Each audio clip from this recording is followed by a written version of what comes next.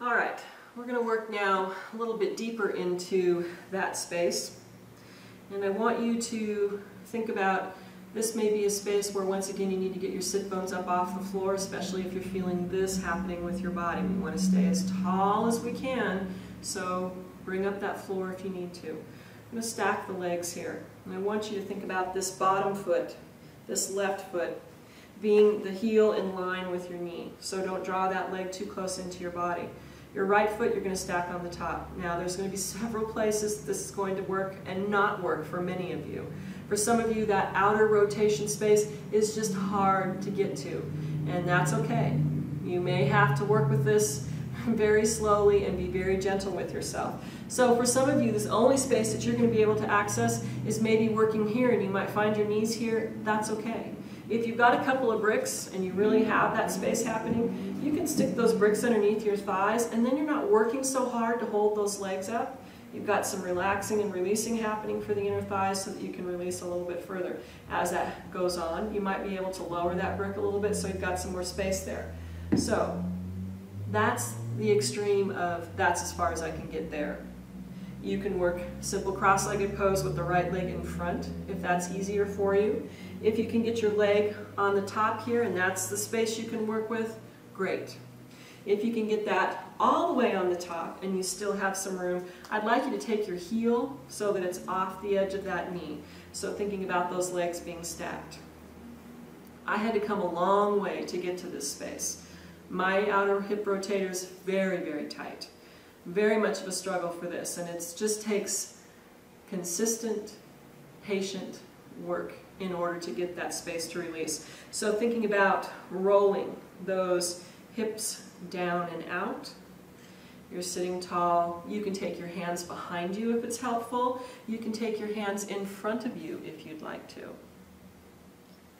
And thinking about that breath flowing all the time. Long, slow, deep inhalations and exhalations. The worst thing you can do is hold your breath. So as we work into releasing here, and it does take between 30 and 60 seconds for the body when you've pushed it outside of its comfort, comfort zone, its habitual space to be. It takes between 30 and 60 seconds for your body to go, okay, I'm okay to be here. And that's when you can start exploring, do I have any more space? Is there anything I can shift or adjust here that makes it so I can move a little further forward? I can roll that hip open a little farther.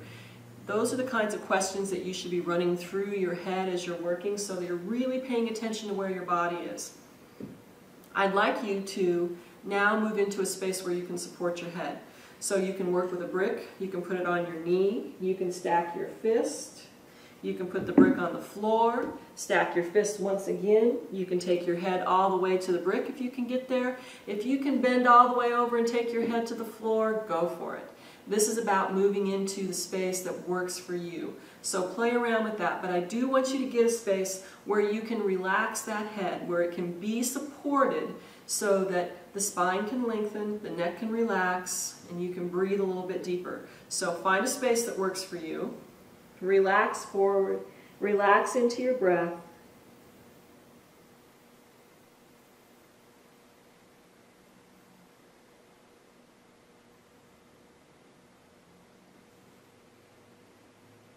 One more breath.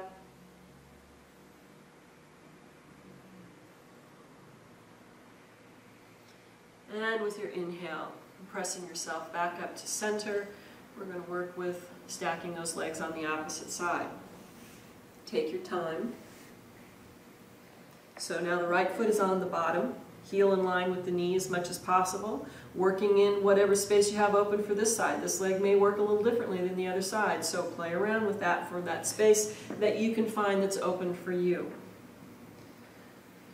Try to keep your hips and pelvis as level as possible. Again, it's a great space to get those sit bones up off the floor and just really work with your breath. Relax and release that outer hip on the left side down towards the floor with your breath.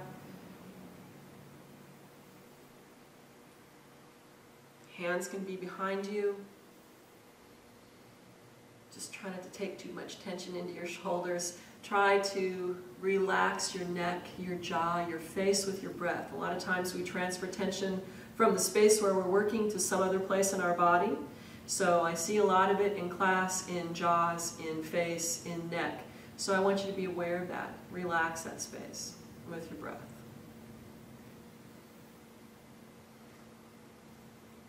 We're going to move forward now.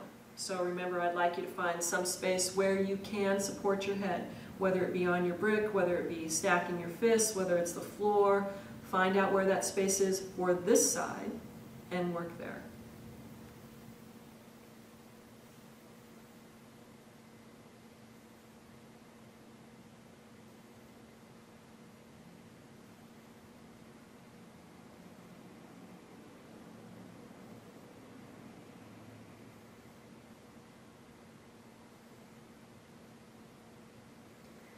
With your next inhale, slowly come back up to center and then slowly unstack those legs.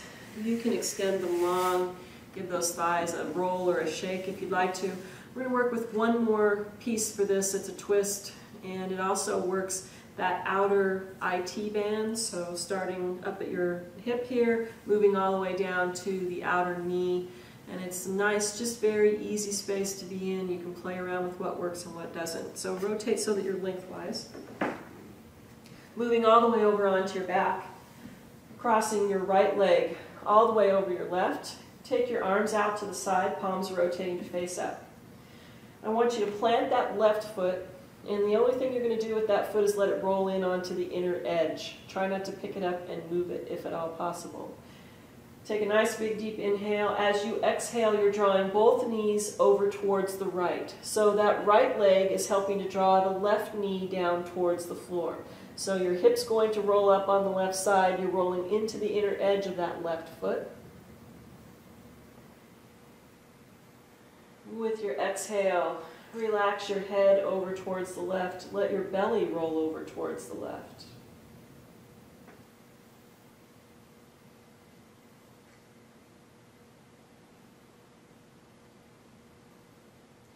Now with your inhale, I want you to just draw those knees up halfway. Don't come up all the way, just halfway. And then with your exhale, relax them back down to the floor again. And notice if you can get a little bit further into the stretch than you did before you did that half lift with the knees.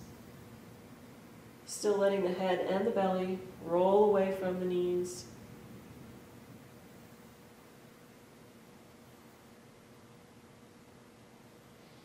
Inhaling now, drawing both knees back up tall, uncrossing that right leg, crossing the left leg all the way over the right, and exhaling and drawing the knees over to the left. So now your right hip is rolling up. You've rolled onto the inner edge of that right foot. And with your exhale, relaxing your head and your belly over towards the left. No force here. Just let your head roll into a natural space. So it isn't about turning it as far as you can. It's about just relaxing into your neck. Let it roll to whatever space feels comfortable.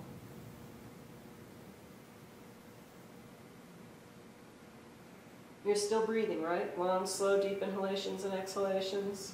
Good. No holding of the breath. Inhaling, drawing the knees up halfway. Exhaling, relaxing those knees back down toward the floor. And once again, check in and see. Did you get a little bit more space? Do you have a little bit more lengthening happening on that outer right hip?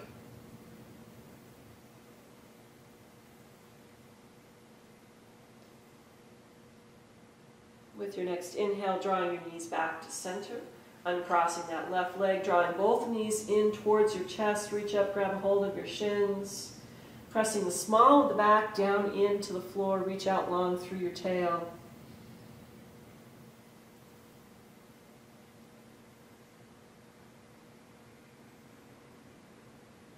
And then go ahead and take the soles of the feet down to the floor.